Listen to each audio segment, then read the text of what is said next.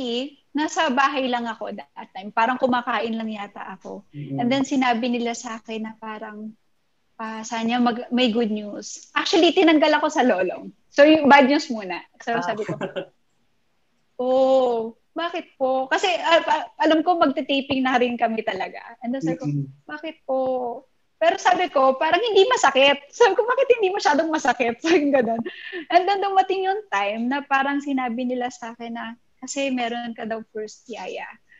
Tapos sabi ko, oh talaga, ako ba talaga? Parang na, na, na-shock ako kasi syempre of course, um, Miss Marian Rivera yon yes. And um, parang, hindi rin naman po ako nag-audition. So sabi ko, paano ako? So you And were then, handpicked?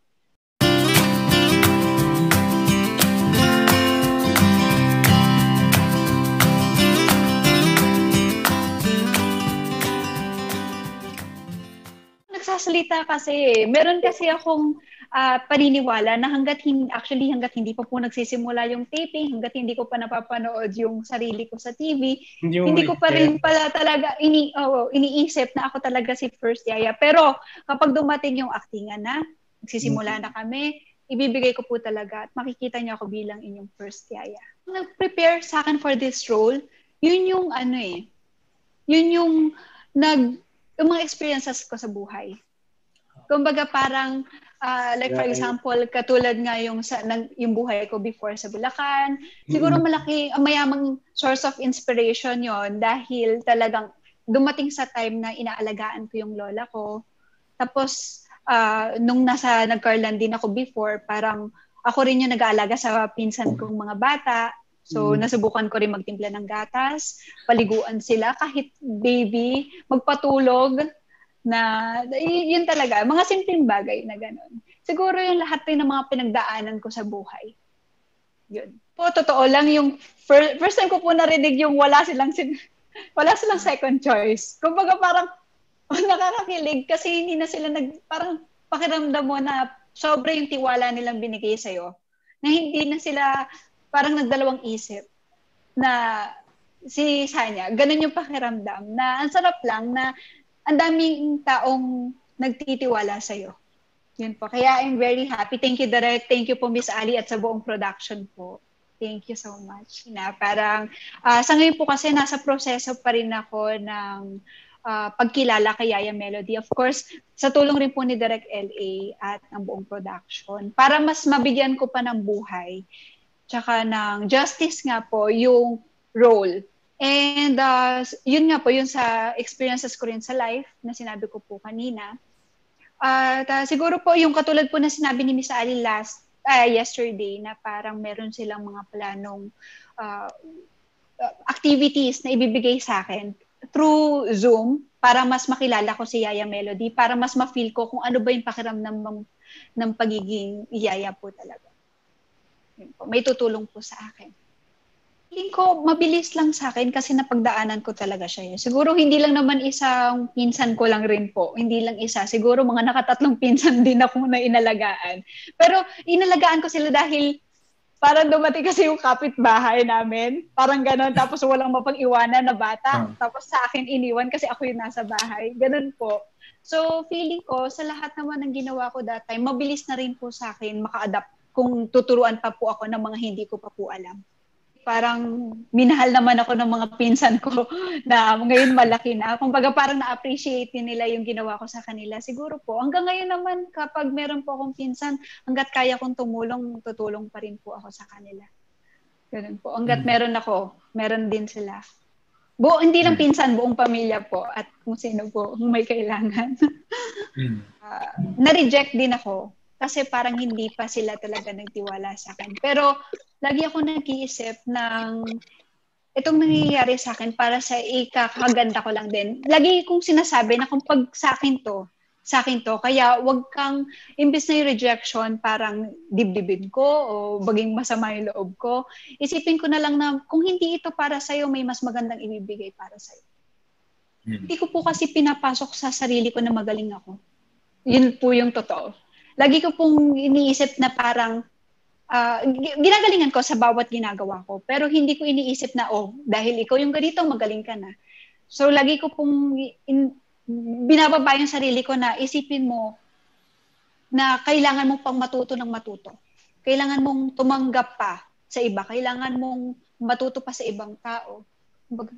Para hindi, kasi pag pakiramdam ko po kasi pag inisip ko na magaling na ako, pakiramdam ko hindi na ako tatanggap. Kumbaga, since puno ka na, ayaw mo nang tumanggap ng iba. Ayoko rin po sigurong lumaki yung ulo ko na ganito na. Ganun po.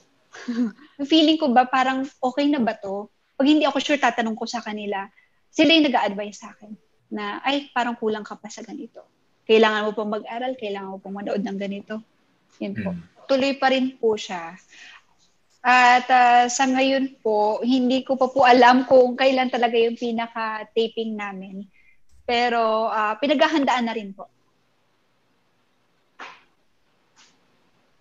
Parang sabi sabi nga nila parang paano ba kayo kasi parehong ako partner ni parang ganon may something sa amin ni Senator Bong doon po sa Agimat tapos dito naman sa uh, First Yaya kay Mr. Gabby Conception kumbaga parang na-excite yung tao din na malaman kung ano paano ba yung chemistry ninyo And wow. ang gusto, yun po, ang siguro masasabi ko na lang, sabi nga ni Derek, na uh, na-excite ako doon sa sinasabi niyang magic.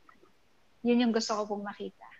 Sabi ko lang po, sa lahat po ng sumusuporta kay Ate Yan Yan, uh, gusto ko lang rin po sabihin sa inyo na kung ano man po, siguro yung naging desisyon ni Ate Yan Yan ay para sa ikabubuti ng pamilya niya. Siguro bilang isang ina na mas pinili niya yung kabubuti para sa mga anak niya at dapat lang rin po siguro nating irespeto yun. Siguro kung ako rin yung ina, sinabi ko rin po yung kay Tito Lar na talagang gagawin ko rin po siguro yun. At uh, ang maipapangako ko lang po sa inyo na gagawin ko po ang lahat para uh, ma- magawa ko po at mahalin niyo rin po ako bilang inyong uh, Yaya Melody, first Yaya. Ako siguro uh, pray na lang po muna ako. pray na lang muna ako at uh, uh, gagalingan ko lang po talaga. Kung ano man yung matanggap ko, siguro nandun naman po talaga eh. Let's face the fact na may mga hindi rin talaga magagandang masasabi sa'yo. Pero talagang, ito pong first yaya, binigay po ito sa akin at gagalingan ko po. Yun lang po talaga magagawa ko. At kung ano man yung natatanggap ko, uh, kung kaya mo naman siyang alam mo yun, kung feeling mo mas makakatulong pa nga sa'yo yung sinasabi nila, tanggapin mo lang and galingan mo pa. Okay. Sa sa ngayon po kasi kung ano yung binigay, kung romcom ito, kasi si sinasabi po ng buong production na parang wag muna natin itong i-ano as bigyan ng genre as romcom. Pero kung mag-click po tayo doon at kung meron mang sinasabing o oh, may another romcom ka pala rin ulit, uh, tatanggapin ko po. Basta maganda, maganda yung story, wala pong problema. Ano po, siguro nasanay na rin, ngayon new normal, siguro na nasanay rin po kasi ako nag-taping na rin. And hindi na rin po bago sa akin kung mag-taping po ngayon. Siguro bago sa akin yung mag-lock-in taping. Uh, pero wala po kong alinlangan. Basta binigay sa akin at alam kong uh, nandyan yung GMA para alagaan rin po ako. Wala kang dapat alinlangan. Yun po. Naku, dapat yun ang abangan. Hindi ba dapat mas abangan natin yun? Kasi ako rin mismo, uh, na-excite ako kung ano, kung bakit ba madali siyang mahalin, kung bakit mm-hmm. masarap siyang mahalin. Uh, kasi sa ngayon po, nandun pa rin po kami sa proseso ng pagkilala sa kanya. Kaya yun po yung pinaka nakaka-excite na ako mismo nag-aabang na din. Ayun po. Siguro po, yun yung mga bagay na ginawa mo pero hindi ka naghahanap ng kapalit. Mabuting bagay. At uh, parang yung hindi ka naghahanap, like for example, pagtulong lang sa sa isang janitor tapos biglang hindi mo hinahanapan, ay, after kong tumulong dito, bibigyan ako ng ganito. Tsaka may mga bagay rin po siguro na ginawa ko noon na hindi ko kailangan ipaalam pa sa iba. Kumbaga yung pagtulong hindi naman po kailangan talagang malaman pa ng iba para lang alam na tumutulong ka.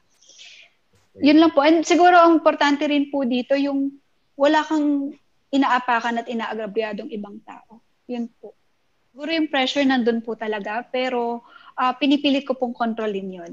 At uh, uh, sinasabi ko na lang sa sarili ko yung mga bagay na nape-pressure ka, alam mong walang ibibigay sa'yo na hindi mo kakayanin. Kaya, ano, galingan ko lang. Galingan mo lang sa kung anong ginagawa mo. Minsan kinakausap ko pa yung sarili ko sa salamin na hindi, kaya mo yan. Kaya mo yan, Sanya, kaya mo yan. Po. In fairness, nakakatulong po siya. Kaya na-excite ako. Nandun yung feeling na parang, ano, ano kaya yung itsura ni Mr. Gabby Concepcion? Pag nakita ko kaya ganun. Na, na-excite si Direct LA kasi gusto niya yung makuha kasi um, na magagamit namin sa sa storyang to dahil talaga namang mata, ma, kumbaga malaki yung agwat ng uh, kumbaga ng estado ni ni Mr. Gabby Concepcion kay Yaya Melody. Hmm. Sobrang happy lang siya and proud talaga daw siya sa akin.